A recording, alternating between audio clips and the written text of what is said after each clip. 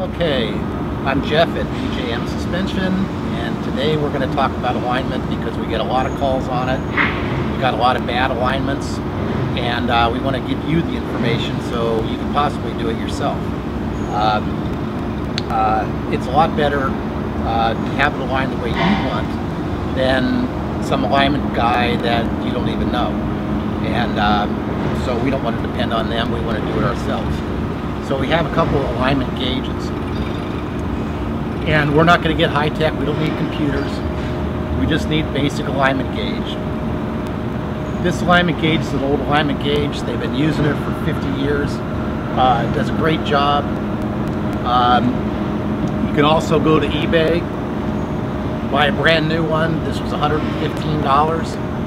Uh, I like to save on labor, I like to save on alignment, and I figure I can go ahead and buy tools and equipment for all the money I save with labor doing it myself, finding out how it's done. Maybe it's a little bit of struggle at first, but uh, you can definitely get there. So you can do one of two things. You can buy a fancy alignment bar that I don't really care for that much, but if you do a lot of alignments, it might be worth buying. We cut up some uh, some just basic tubing. Uh, you can get it at your steel supply house. They also probably have a lathe. They can face it off for you. Uh, you can get a little fancy and do some fancy stuff if you do a lot of alignments on a particular vehicle. We don't really care.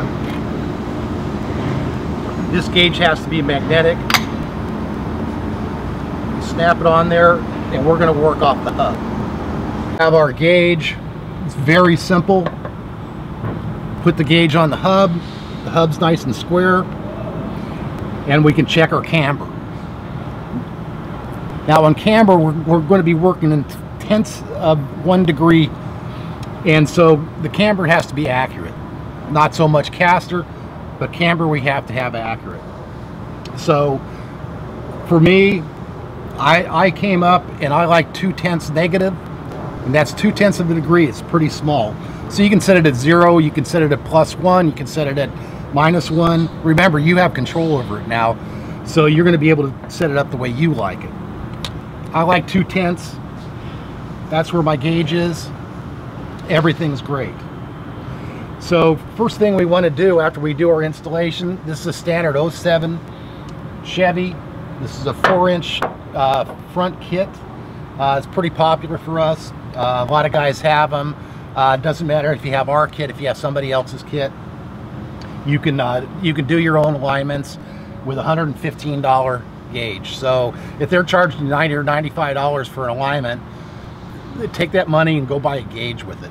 And uh, and so obviously you see we have a lift, we have turnbuckles. You don't necessarily need it. You can do it on a flat cement floor. So uh, I talked to a guy in the Army. He said they do it on the floor. They take a couple pieces of aluminum, put some grease in between them, and they got their turnbuckle. Zero, you can go ahead and scribe your 20 degrees because we're going to need 20 degrees. And that's it. That's all there is to it. Okay, we have some leftover vinyl squares. You can get them anywhere. Put that one down. Put a little grease on it.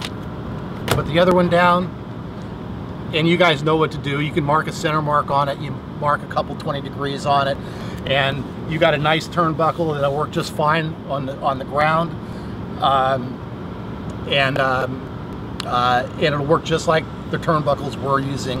Uh, you can buy these turnbuckles. Uh, you can still use them on the ground. Uh, you can buy them for a couple hundred, four or five hundred dollars.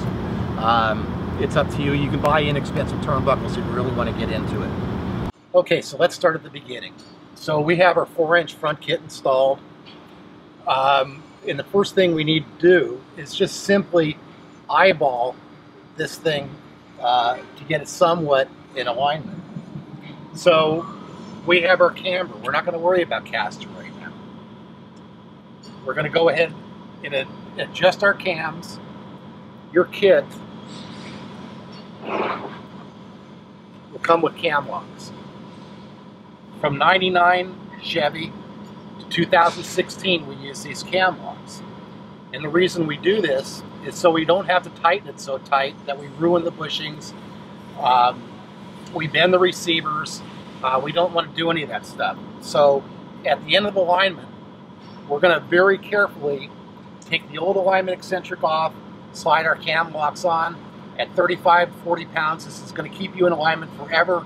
Unless you crash the truck, you're not going to have an alignment problem. So we've obviously we've already done this. We're not going to waste your time with us fiddling around, uh, eyeballing this thing in.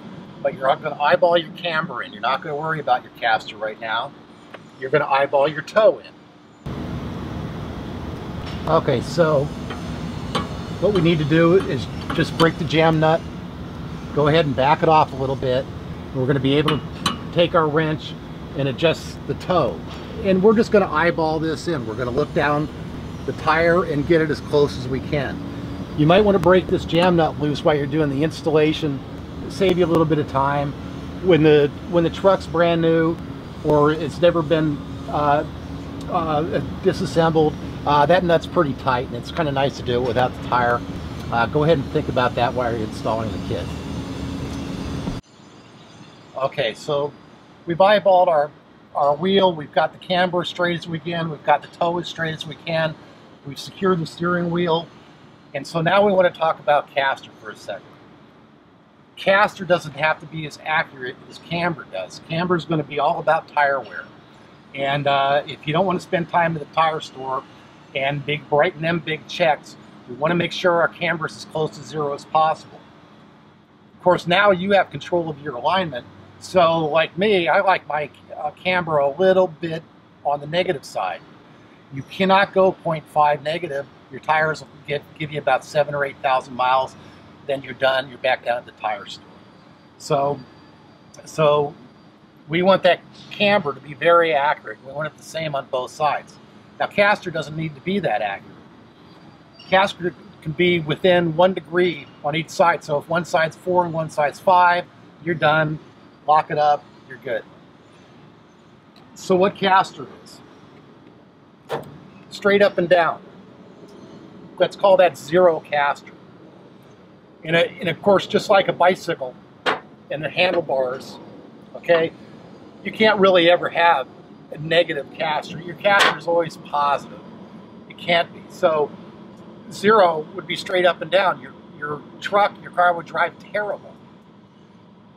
Now, the more we come back here, the more caster we're adding to it. Original equipment manufacturers always have low caster settings. One and a half degrees, two degrees of caster. It's awful. We don't like that, and I don't like it. So I like four degrees, I even like five degrees. Um, if you get too high in your caster, your wheels will uh, squeal when you're going around a a, a U-turn, things like that. So we don't want to go too high on it. But for me, five degrees is fine. Uh, four degrees is good. Four and a half degrees, as long as one's four and a half, one's five, doesn't matter. You're fine. So what we're doing from the upper ball joint to the lower ball joint, that's your caster setting your upper ball joint always sits aft of the lower ball joint. So that's what we're trying to achieve. We just need a way to measure it. So we come back to our gauge we picked up for $115. Uh, going to save you a ton. Um, you can do an alignment in 35, 45 minutes. And um, and you can tell the difference between the changes you make on, on your alignment. So this gauge comes with instructions. This is really, really simple. Uh, camber is very simple to do. We're going to take our arrow from zero, we're going to put it on 20 degrees. And we're going to pull this wheel over, put her on 20 degrees. Put our gauge on it, it says caster right on our gauge. We're going to take, we're going to just adjust that to zero. Take the tire, we're going to pull it back 20 degrees the opposite way.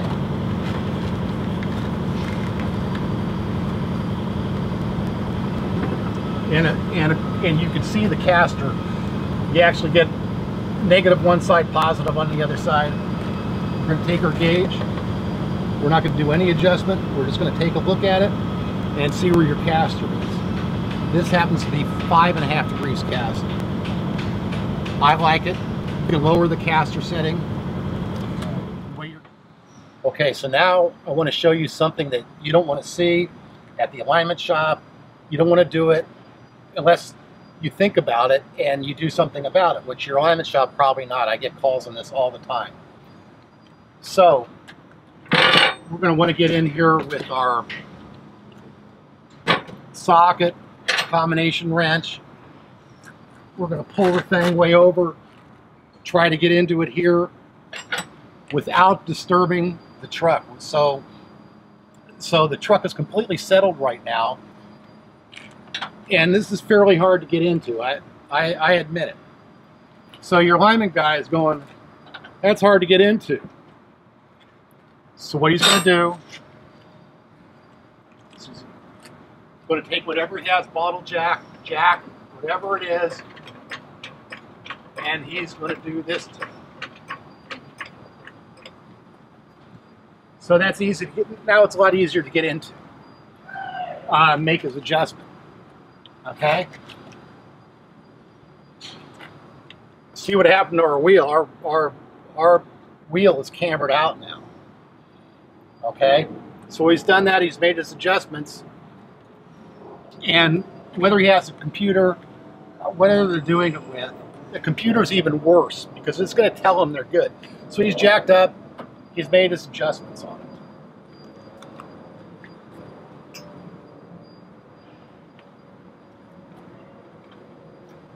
He's going to come back.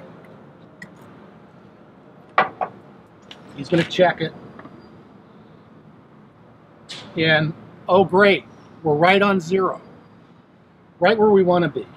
The only thing is, it's made a half a degree difference uh, in the alignment. So now my alignment gauge is is it's off the chart actually, but it's it's uh, it's 0.5 positive because now I'm getting a real reading on that. If I'm fooling myself, I have my camber gauge and it says I'm zero, We're no, we're a ha half a degree off. Remember, in, in camber, we can't be a half a degree off. So what's going to happen is this truck's going to roll off the lift, it's going to settle down, you're going to put the brakes on, and now you're going to be half degree negative. Remember, your your tire shop's going to see in seven or 8,000 miles. the inside of your tire is going to be gone. So, how can we avoid that? Um, you're probably not going to be able to talk your alignment guy out of it. He knows everything, and um, and that's a lot of times that's the way it is. So, what would happen if when we adjusted this, we adjusted it at a half degree positive. So now we're sitting here. We put the gauge on. We're a half degree positive. So now we know we're going to lose a half a degree when we pull it off the rack. It's going to be right on zero. That's great. Remember, caster isn't that sensitive. So we can come back, go 20 degrees, put our caster gauge on. It made a little tiny bit of difference. Not that much. Put it back over 20 degrees.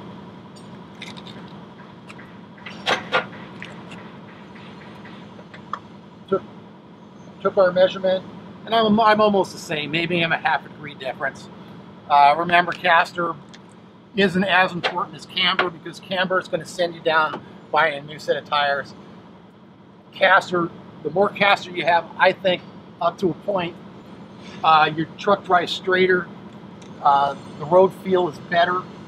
Um, when you go around a uh, 90 degree turn, that steering wheel should want to come back to zero by itself. You just let go of the steering wheel, it should come right back to center or attempt to come back to center. So, so that's that's with a higher caster setting above four degrees. That's what it's going to do, and it's going to drive like a sport truck. So now we've got our caster and camber done, and uh, we have this at 2.2 degrees negative. That's two tenths of a degree negative. and we have it at five and a half degrees caster. I happen to like that. You might want it at four and a half degrees caster. You can set it up anytime you want with a little bubble gauge, a piece of steel um, from eBay. So I encourage you to do that. Uh, you can do this on the floor just as easy. Uh, uh, now we'll go on to toe. Uh, what I like to do, uh, because I have the tool, and you can you can take some pillows or you know or make your own, or like we said, you you're you're 90 95 dollars in in the black right now. So I like to lock the steering wheel down before I start doing toe because it could move.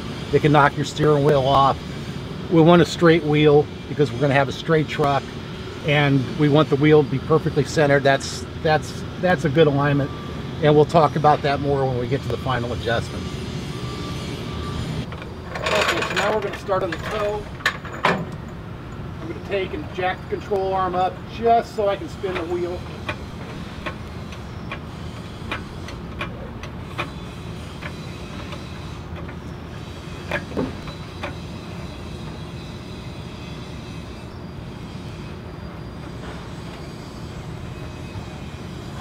Okay, so now we can spin the wheel. We're going to take some white spray paint. We're going to go ahead and spray paint a line right around the tire.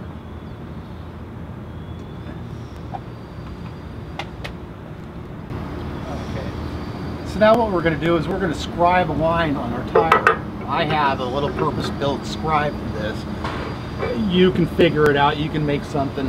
Uh, it's it's pretty simple task. And we're just going to go ahead and spin the tire, and we're going to go ahead and scribe a line around. So now we have a line around it. We're going to do the same thing to the other side. Okay, we're going to spin the tire and paint our line.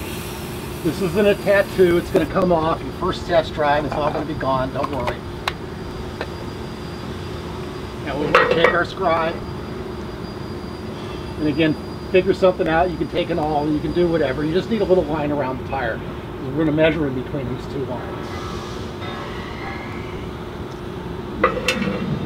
So we got our line. I'm going to go ahead and put it back down again. Okay, so this is our one-man tape measure. It does exactly the same thing your tape measure does, but I don't need anybody on the on the other side of it to hold the tape measure. So we're going to take this little tool and we're going to check our toe. And let's go. This is very simple.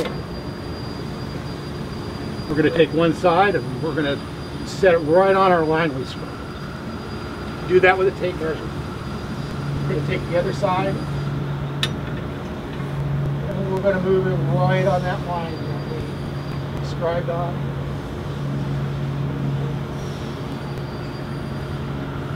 And now we have a measurement. So now, we can take and carefully remove this.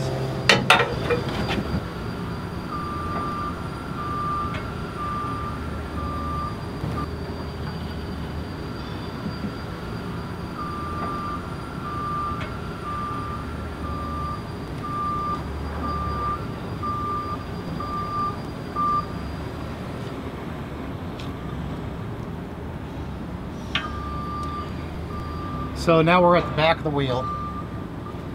This has been aligned and you can see we're right on the money. Both the front and the wheel are exactly the same. Now you may not want them exactly the same. You may want a little toe in, which is pretty common. So you might want to adjust the front a 16th of an inch less than the back.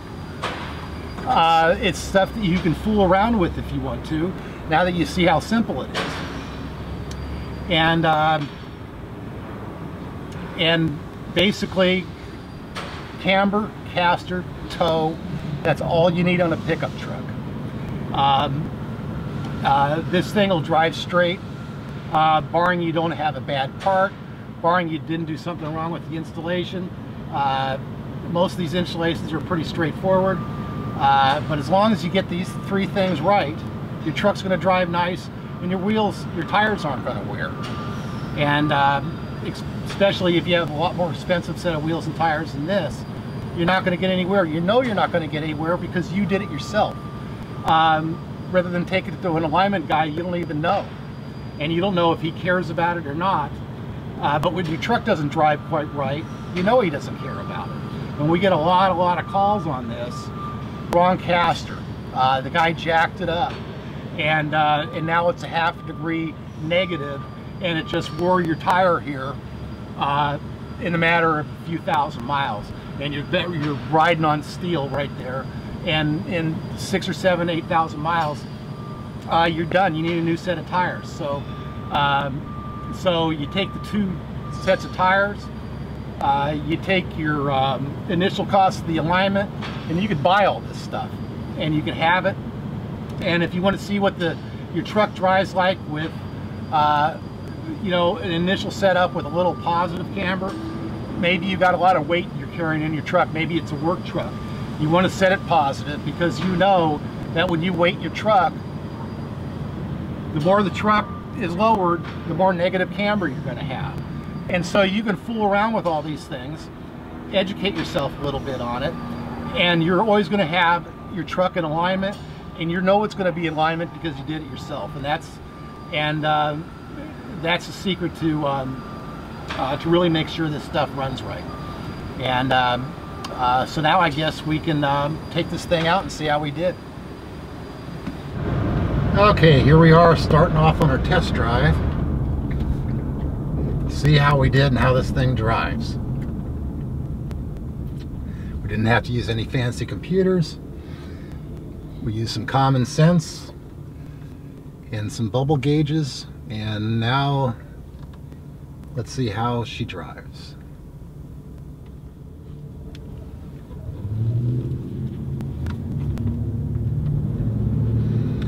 Okay, here we go for 90 degree test. We'll let that steering wheel go and she wants to come right back to center. That's what your caster does for you. When we push into this lane change, we can feel this, we can feel the truck. That's what the higher caster does for you. So right now, we're at 0.2 negative camber. Same on both sides. We don't want to go ever, ever go past 0.2 negative. If you wanted zero, that's great too. Adjusted to zero, it'll still drive fine. And we got a lot of caster in it. We got five degrees of caster in this thing but you can see that this thing is is driving really straight. And um, and of course that's what we want. And the reason I have five degrees caster in it is because I want five degrees caster in it. I don't want the alignment guy at the big box store to decide how much caster I want. I'll decide how much caster I want. And and that's why we're handing there's pretty heavy crown in this road and you can still see it's still driving nice and straight. So our steering wheel is pretty straight. That could be adjusted. Um, whatever ways your steering wheel's off turn your tie rods the same way and it'll straighten the steering wheel out. Since you're already done your toe and you know the wheels are parallel with each other all you got to do is count the amount of turns that you turn each tie rod, turn them both in the same direction. So if your steering wheel's off like this, turn your tie rods like that, same direction, and it'll pull your steering wheel back straight again. Uh, usually you have to do that. Uh, okay, so we're to test drive this thing pretty good because it's working so well. Again, this is a 4.6 kit, uh, 07 Chevy, same kit all the way up to your 16. Um, you can see that even not so nice roads. Um, this is a super nice riding kit. The alignment's dead on the money uh, is what we want. We're not going to end up at the tire store. And um, and we're we're not going to have to fight the thing on the freeway. And um, and we did the thing with a, uh, a minimum amount of tools uh, and equipment. And uh, if you go ahead and buy it now you own the equipment uh, you traded it for one bad alignment, and uh, and now you have one good alignment, and the tools are still yours. So uh, I recommend this. Doesn't cost that much to give it a try. Uh, and uh, I'd go ahead and try it. It's a lot of fun. So let's go ahead and look at what we did. Um, we used our one-man tape measure, which you could certainly just use a tape measure. Can of white spray paint. We have a scribe that you could buy one or you could make one out of, you know, some wood and, you know, whatever. You guys are smart. You know how to do it. 21 millimeter socket, combination wrench. We went to our metal house, got a piece of tubing, found somebody with a lathe to face it off on each end so it's nice and square. We need it nice and square. And we got our little gauge that we bought from eBay for a little over $100. So you're in the alignment business, and you can do a good alignment. Take the time. Uh, remember some of the stuff we uh, talked about. If you do have to jack the truck up, you're going to have a half a degree error positive. So we need to zero now is going to be plus a half a degree, five tenths. Okay, so we have to do that. So when we pull it off the lift, it's going to be on zero. And since you have your own stuff, um, even if you're using your vinyl squares, uh, pull it back up and just check it. It's going to be right. It's going to be very close. If your alignment guy does that, and he's convinced that this is on zero, you pull it off, you go off into the sunset, you're a half degree off. Uh, Mr. Goodyear's going to say, thank you very much. I love to replace tires at 7,000 miles. And um, of course, we don't want to do that. So even if you have, are having a line, make sure you see that guy jack it up, he's not measuring it right. Especially if he's, if he's using a computer alignment, um, he probably has less, less knowledge than you do now. So just keep your eyes open. Don't go and leave your truck someplace. Get it aligned, come back. They give you a nice read read out with green and red on it. Looks great and stuff. You drive your truck off because you're not going to know this until at least a couple thousand, three thousand miles. With uh, with negative camber, your truck usually drives better, um, straighter. But believe me, um, you're going to be back at the tire store in no time. So I uh, I hope this was helpful, and we'll see you next time.